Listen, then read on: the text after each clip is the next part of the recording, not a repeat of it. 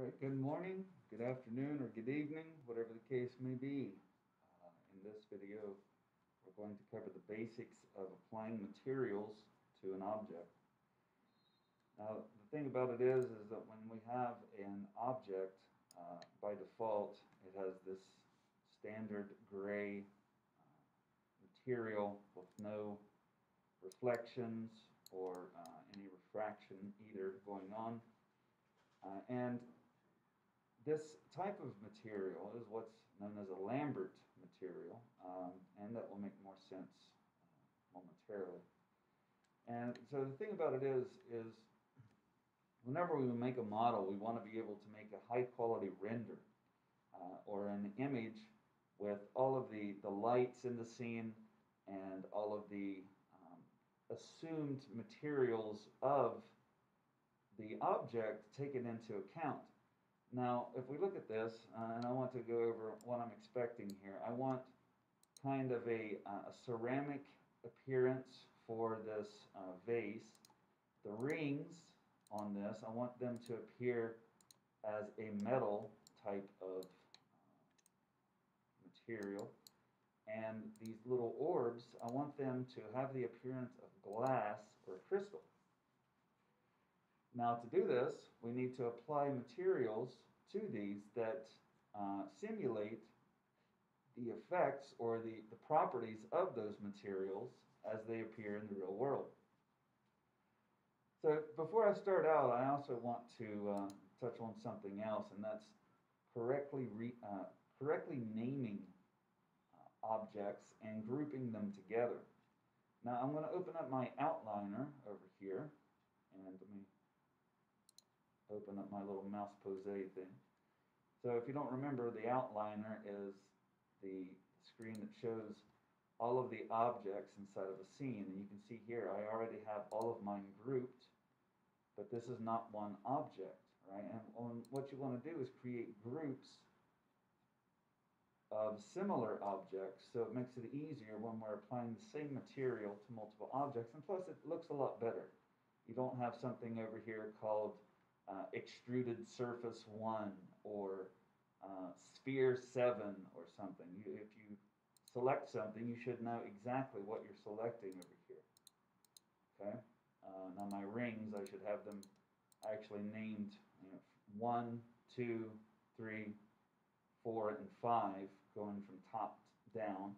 But, uh, you know, there's real, really no naming uh, expectations so long as you name them correctly. Now this other thing here you can see is a group and that's indicated with the little um, rhombus slash parallel. Yeah, it's a parallelogram. It's not a rhombus. It's just taller on the, the Y than it is on the X. But anyway, uh, this indicates that this is a group. Now to group things, and I'll go ahead and do something real quick here. Let's draw a couple cylinders And let's say that I want to group these cylinders together, right? And we look over here, it's cylinder one, two, and three. And let's say I want to group these so that I can easily find them inside of my outliner. So what you want to do is you want to select all those objects. So you can go to right click object mode and select all of them like that. But that gets tricky when you have objects like this. Like I can't do that with these orbs. See? If I do that, I'm going to grab everything else. Better way to do it is select it inside of the outliner. Now you can select an object and hold down Command on a Mac or Control on a PC and individually select them. If they're all in a line, like here we have uh, cylinder 1, 2, and 3, you can hold down, you can click the first one, hold down Shift, and select the last one, and you'll grab all of them. But if they're not, so say for example, like this, I can't select this top one and then hold down shift and select the bottom one because it's going to select the top one and everything in between.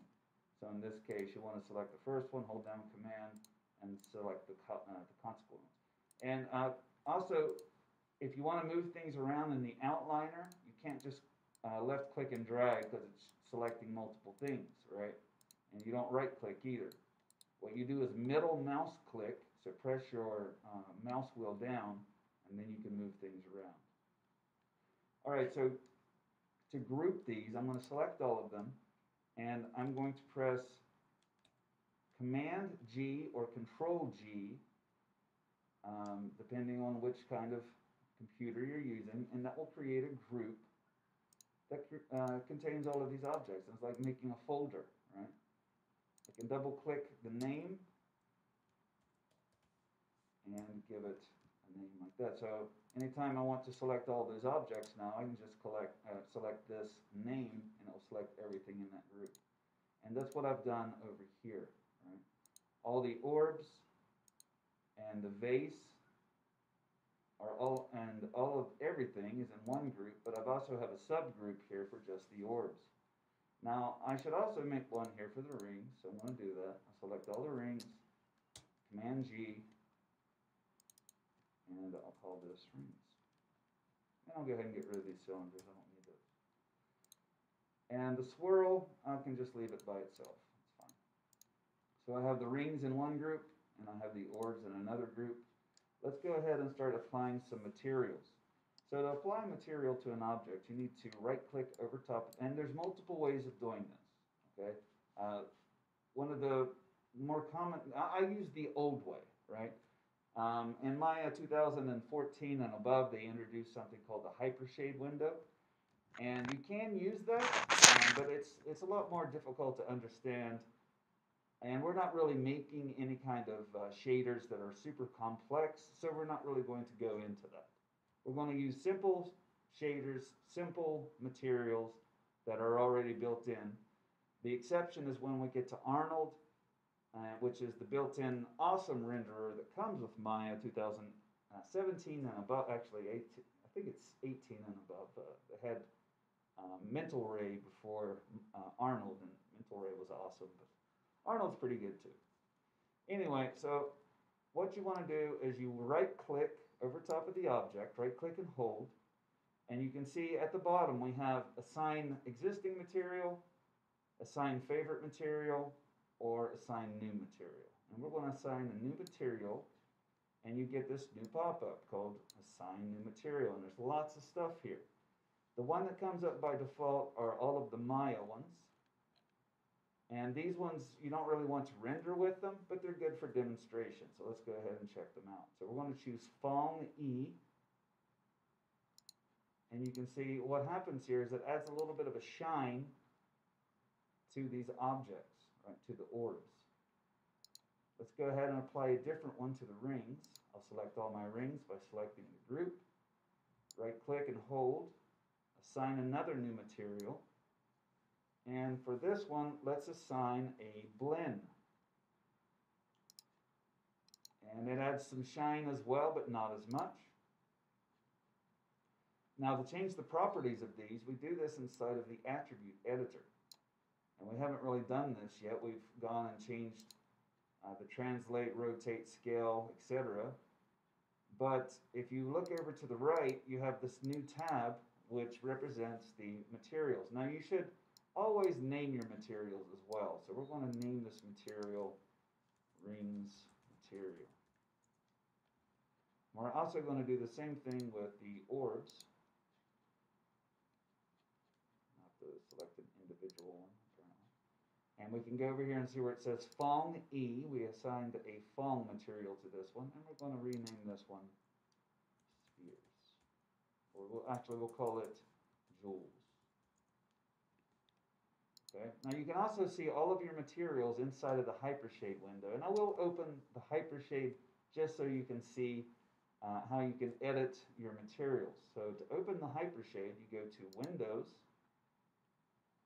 Rendering Editors, Hypershade. Now if we open this up, now down here is where you can create some pretty complex uh, shaders with whatever material you choose. And again, we're not going to get into this. And up here, you can see we have a list of all of the materials. The Lambert one is the one by default. Like I said at the beginning, the, the Lambert is applied to all, all objects at the beginning, but you can change it by doing what we just did. And if I choose these, you can see that I can come in and change the properties of these materials. So if I go to the, and let's not do it, let's do this with the vase. I want to close the hypershade, select the vase, and assign another new material. And with this one, I'm going to choose Lambert because I don't want this to have a shine. I want it to appear to be like a clay or marble or ceramic. It might have a little bit of a shine, but we're not going to have it. So I'll choose Lambert, and I'm going to rename this to vase material.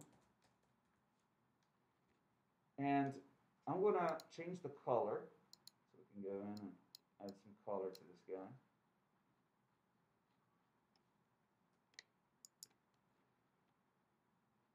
And maybe we'll add a little bit of transparency to these orbs. So I'll select the, the jewel. And then over here where it says transparency, we can crank this up like so, maybe something like that. Okay. Now by default, you can't really see anything. But if you press 6, you'll be able to see the shaded view of whatever it is. If, if the way that we have it now, we have 5, but if we press 6, it has the shades and it has any textures that you've applied, like color. Alright. So let's go ahead and take what we have right now. Let's add something else to the rings so they're not so uh, drab. Let's open up the attribute editor. Go into rings material. And on this one, let's add some color as well. Make it look like a gold. Something like that. And then now that we have some colors applied, um, let's go ahead and do one for the, actually let's go ahead and apply the same material to the swirl that we used on the uh, ring. So I'm going to right click, assign existing material, and then we'll choose rings material and that will apply that material to that as well. So the next thing we're going to look at is making a render. Now, we're going to do some basic renders first. Basic render uses Maya's built-in systems. And what we want to do is actually open up the render view, and that's this button that looks like uh, the thing they used in the, min, uh, the placard or the, the card, the scene card that they use in movies. And we're going to open up render view so we can see what's going on. And this little drop down menu, yours will say Maya software by default, and that's what we're going to start with. We're just going to create a render, and the way the render works is that it uses whatever camera you want, but right now we're only using our perspective camera, so it's going to do a render with this the way it is in the scene. So I'll go ahead and click this one, which is the little um, movie thing. I'll have to look up what that's called later. Uh, with no eyeball, right? So you just click this, and we'll see we get a render of the current object in the scene, calculating the lights used in the scene. Now we can see that right now there's no lights, and the thing about it is, is that you want to have lights in your scene to make good renders. So let's go ahead and create a light. We're going to create a directional light It's pretty standard. It acts like the sun does in the sky. It's, it shines in one direction at all the time, and um, it can be interrupted by anything and create shadows. So what we'll do is we'll go to Create, Lights, Directional Light. And it's going to create this in the middle of the scene. I can't see it right now because the vase is in the way, but it'll make it right at the origin. So the first thing you do when you make a light is go ahead and go to your move tool so you can move it into position. And if you lose it, keep in mind you can always find it inside of your outliner. You see here there's one called directional light. And you can always use F to focus on that light. Now if you look at this directional light, and we'll talk more about lights later, but right now uh, we're just going to use this guy. And you can see that it's a directional light, it just shines in one direction, and that direction is the way that the arrows point. So if I, and it, it can't, it doesn't matter the position for the directional light. It doesn't matter where it is in the scene. I can put it all the way over here or whatever, and it's still going to shine infinitely in this direction from all um, aspects of this, of this side. So no matter where I have the light positioned, it's going to shine in this direction uh, on all things equally. So with that done, let's go ahead and create a quick render. You can open up the render view, go ahead and do a render.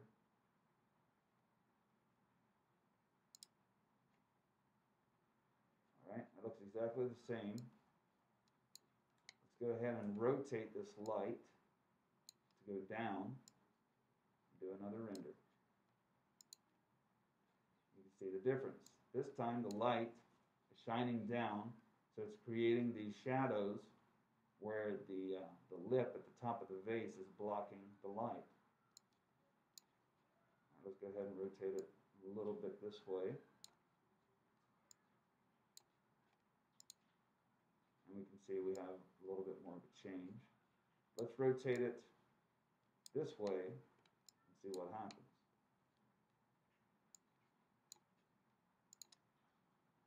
And here we can see we have light coming off on the side, and we almost have kind of a, an ellipse, or ellipse, eclipse kind of an effect.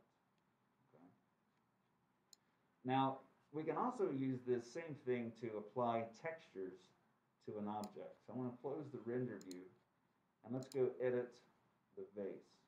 So open up my attribute editor. I'll go over here to where it says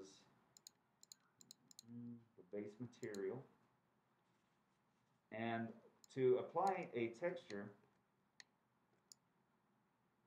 and uh, by the way, your attribute editor may have a bunch of extra tabs uh, depending on how many operations that you've performed on this object.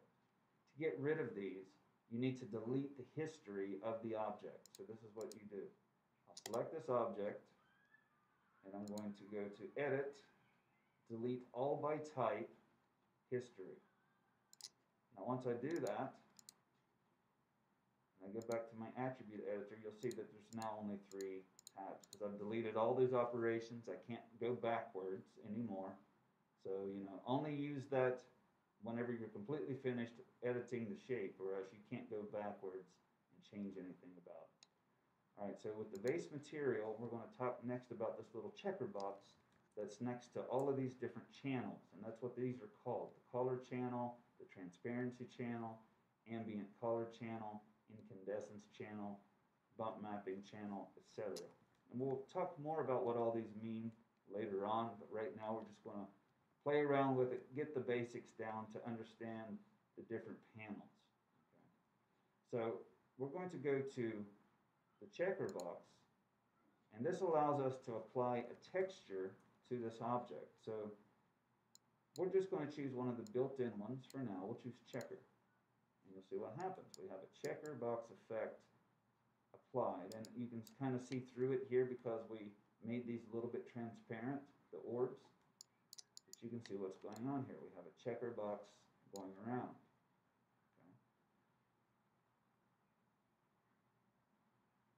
Now to uh, get back out of this, and you'll see that you have different tabs now. You can use these two buttons to either go forward or backwards. So you can go here and change different things about that checker box, or you can back out of it to change things about the material.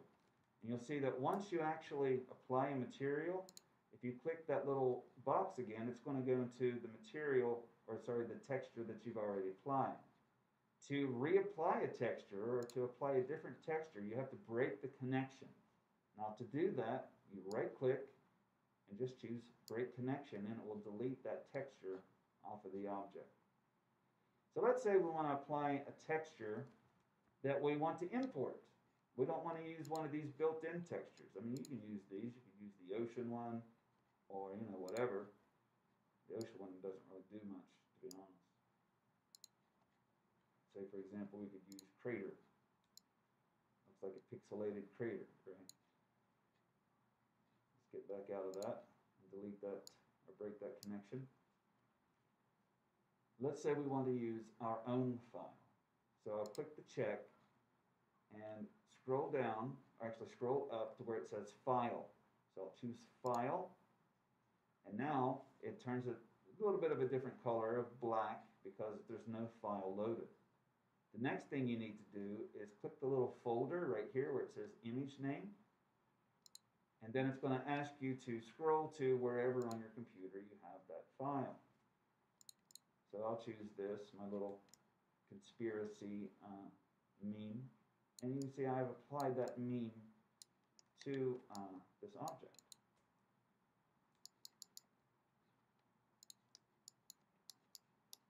Right? And then whenever I do my render, and again, if you want to do a render without having, having render view open, just do a quick render.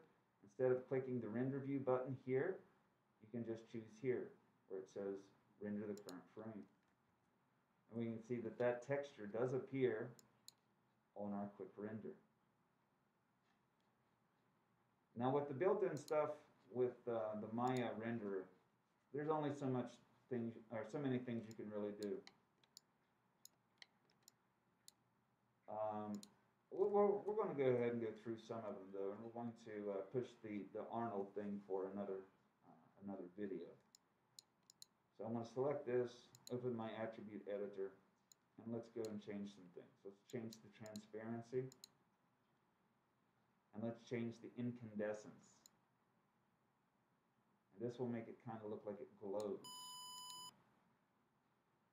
Maybe I'll make it a nice purple glow something like that. Go ahead and do another quick render. And we can see what's going on there. It adds a little bit of a, a glow effect to uh, the object.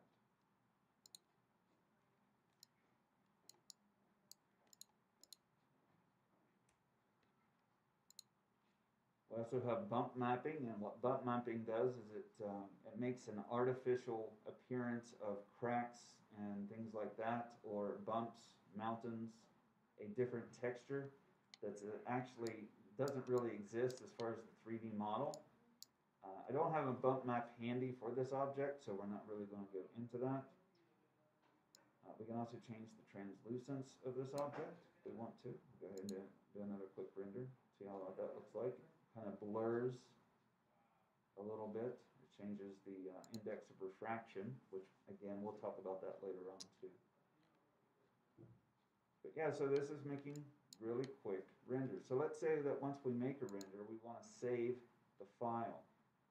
So if we open up the render view, I'm going to go ahead over here and check out these two buttons. We have save image.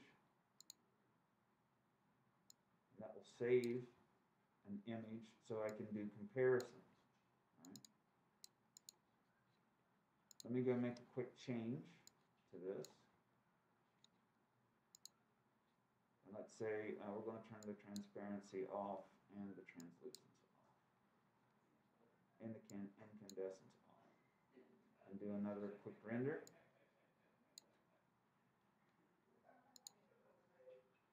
And then save this image. So now what you can do is on this bar down here, you can compare the images, the renders that you have to check uh, changes that you've made.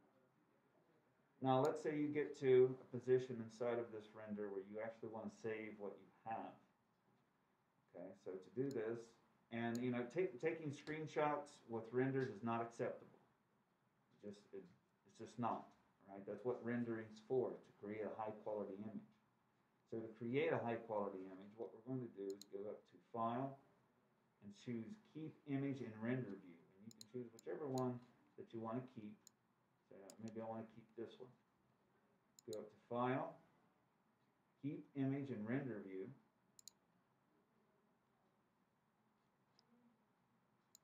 And that will actually save it to your project file. And sometimes that's hard to find. So instead of doing that, we can just save it as a file and then choose where we want it to be saved. So if we go to File, save image. Now we can go to desktop, choose base render, and then click save. And then we can go and open that up on our desktop. Change this to date modify, and we can open up the base render PNG. See what we get.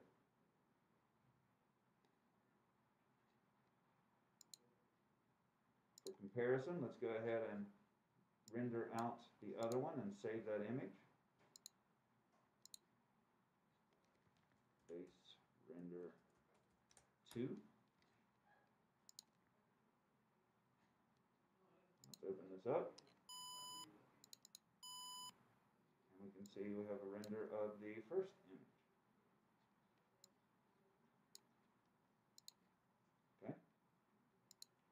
Alright, so what I want you to do is to apply some materials to your own vase to each part. So you want to have a different material for your spheres, uh, one for your ring, and if you have multiple rings, that's fine. You can apply different materials or whatever you want to do. But I want at least three materials, and I want you to submit the render or multiple renders of your object. Now, one more thing, um, you can also play around with the lights to make some more um, interesting effects. I, I'm going to delete that directional light and create a couple different lights. So go to create, lights, and let's use a point light. And what a point light does is it, the distance does matter for objects for a point light. So it, it's like a candle. It's like the top of a candle, right? The further, the further you get away from it, the, the less light something's going to receive. So if I go do a quick render here, let's say, okay, the point light's pretty close to it, so it does uh, a little bit of luminance to it. If I move it further away and do another render, you can see the light amount actually changes, and I, I'm not sure exactly why it actually raised. I think I have my settings on my lights kind of messed up. Let's go back here, do another render. Oh, that's strange. Shouldn't be doing that, but it is. One more thing, you can actually go and change things about the lights. So if you select the light and go to the attribute editor, you can change things like the intensity of the light there. But do a render here, you can see now the light has decreased. And you can also change the decay, which is probably why it was wasn't really working before. You can see here the, the decay has actually made the light decay over time or over distance. So now if I take this light and move it closer, now it has a little bit of light that you can see here. So let's go inside of this, raise up the intensity a bit, do another render, and you see that it does change. You can also add color effects to the lights as well. We don't want to have a blue light. You see what's going on. Uh, another thing you can do is you can preview your lights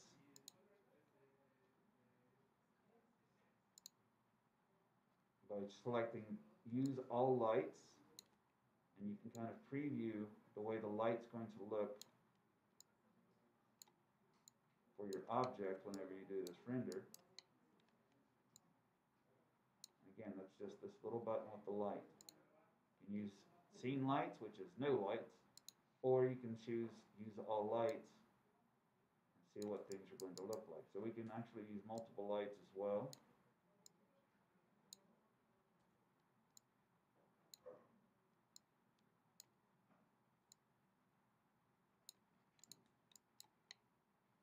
Maybe we want something like that. Kind of a, a All right, so make a few renders. Uh, play around with the different lights. We've only used two types. There are multiple. You have ambient and uh, spot, area, and volume. Really, the only ones you really need to worry about using are directional, point, spot, and area light, volume light. Uh, I mean, area light does the same thing. It just doesn't get blocked. And uh, ambient light is, it's kind of cool, but you don't really have any use for it to be honest, because point light does a better job of what ambient light does, and it's more customizable.